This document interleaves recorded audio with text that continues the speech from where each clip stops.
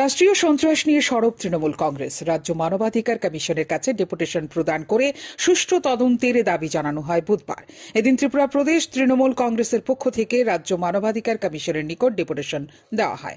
ডেপুটেশনের সময় প্রতিনিধি দলে উপস্থিত ছিলেন তৃণমূলের নবনির্বাচিত প্রদেশ সভাপতি পীযূষ কান্তি বিশ্বাস, সাংসদ সুস্মিতা দেব সহ অন্যান্য নেতৃত্ব। তৃণমূলের নবনির্বাচিত রাজ্য সভাপতি পীযূষ কান্তি বিশ্বাস জানান, কিছুদিন ধরে যে কোনো ধরনের আন্দোলন করতে গেলে পুলিশকে লেলিয়ে দেওয়া হচ্ছে। চলছে লাঠি পেটা, মিথ্যে মামলা ও আহত হওয়ার ঘটনা। এ সম্পর্কে কারও কোনো কিছু বলার অধিকার নেই। অতি সম্প্রতি দশ হাজার তিনশো তেইশ এসটিজিটির দের যে লাঠি পেটা করা হয়, এই লাঠি পেটা থেকে বাদ যায়নি গর্ভবতী মহিলা, ক্যান্সার রোগীরাও। এই সরকার প্রতিশ্রুতি রক্ষা করেনি বলেই মাঠে নামছে তারা। সামনেই নির্বাচন। আর নির্বাচন ঘনিয়ে গেলে এই সমস্ত কিছু পূরণ করা সম্ভব নয় বলে জানান তিনি। মানুষ প্রতিবাদ করলেই পুলিশ লেলিয়ে আক্রমণ শানিত করা হচ্ছে বলেও অভিযোগ করেন। এসটিজিটির ওপর পুলিশের লাঠি পেটার ঘটনা নৃশংস। এই ঘটনা সম্পর্কে অবগত করতে রাজ্য মানবাধিকার কমিশনের নিকট ডেপুটেশন প্রদান করা হয়েছে বলে জানান রাজ্য সভাপতি। চেয়ারম্যানকে এই বিষয়ে জানানো হয়েছে বলে জানান তিনি।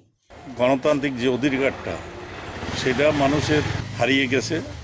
মানুষ গণতান্ত্রিক অধিকার নিয়ে যেখানে প্রতিবাদ করতে যাচ্ছে, দাবি আদায় করার কথা বলছে, সেইখানে পুলিশ নির্মমভাবে পুলিশকে লাগিয়ে দেওয়া হচ্ছে, তাদের উপর অত্যাচার হচ্ছে। Human rights commission human rights বলে যে জিনিসটা, সেটাতে আজকে এই সরকারের তার প্রতি কোনো রকমের সম্মান নেই, কোনো রকমের চিন্তা নেই। যেখানে ওরা ওরা, এটা কারও দোষ নেই, সরকার যে সরকার এখন পাওয়ার এসছে, তারাই মানুষকে প্রতিশ্রুতি দিয়েছিল অনেকগুলি। চাকরি থেকে আরম্ভ করে দশ হাজার তিনশো তেইশ থেকে আরম্ভ করে সেভেন পে কমিশন থেকে আরম্ভ করে, ওরাই বলেছিল ফার্স্ট ক্যাবিনেট মিটিংয়ে এগুলি সবাই পেয়ে যাবে। এখন পাঁচ বছর শেষ হতে যাচ্ছে, স্বাভাবিকভাবেই এই দাবি উঠবে।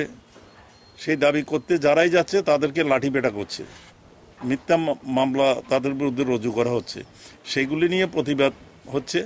পুলিশ প্রশাসনের কোনো উদ্বেগ নেই, কোনো অ্যাকশন নেই। সরকারও ওই ব্যাপারে নিল বোঝা যাচ্ছে যে সরকারের মদতেই সরকারের নির্দেশে এইসব অত্যাচার হচ্ছে। এদিকে রাজ্যে মানবাধিকারের লঙ্ঘন করা হচ্ছে বলে অভিযোগ তোলেন সাংসদ সুস্মিতা দেব। গণতান্ত্রিক দেশে আন্দোলন করার অধিকার সকলের রয়েছে, কিন্তু পুলিশ যে ভূমিকা নিচ্ছে তা মানবাধিকার লঙ্ঘন বলে দাবি করেন তিনি। রাজ্য মানবাধিকার কমিশনের চেয়ারম্যানের সঙ্গে কথা হয়েছে। তিনি উপযুক্ত পদক্ষেপ নেবেন বলে আশা ব্যক্ত করেন। একই সঙ্গে বলেন, রাজ্য সরকার ও আরক্ষা প্রশাসনের বিরুদ্ধে তদন্ত করা অত্যন্ত গুরুত্বপূর্ণ। সেই দাবিও জানানো হয়েছে তৃণমূল কংগ্রেসের পক্ষ থেকে। ওনার সঙ্গে আলোচনা করে আমরা এই মেমোরান্ডামটা ত্রিপুরা প্রদেশ তৃণমূল কংগ্রেসের পক্ষ থেকে দিয়েছি। উনি ইনভেস্টিগেশন করে রিপোর্ট দিন যে এই যে চলছে, এই পরিবেশটা, পুলিশ দিয়ে সব অ্যাজিটেটার্সদের যারা চাকরি চাইছে, পরীক্ষার রেজাল্ট চাইছে, ওদেরকে এভাবে মারধর করা, এটা হিউম্যান রাইটস ভায়োলেশন কিনা, এটা ইনভেস্টিগেশনের খুব দরকার। উনি আমাদের ভালো রেসপন্স দিয়েছেন। উনি বলেছেন, উনি দেখবেন। আমরা আশাবাদী যে আগামী দিনে এটা আমরা জাস্টিস পাবো, ন্যায় হবে, এই আশাটা আমরা রাখি। শ্যামদন টিভি।